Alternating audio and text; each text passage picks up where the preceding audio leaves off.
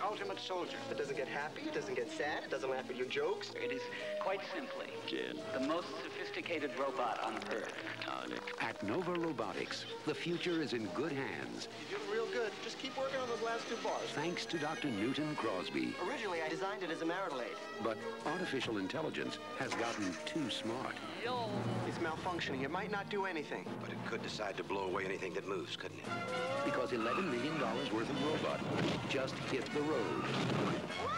Number five is alive. Welcome to my planet. We just have to find number five, get some answers. Why don't you come on in my house? And it's got a lot of living to do. Whatever it takes to put that stupid contraption out of commission, that's what you do.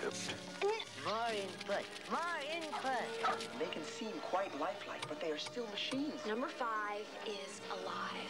Nice software. How it happens, who knows, but it has happened.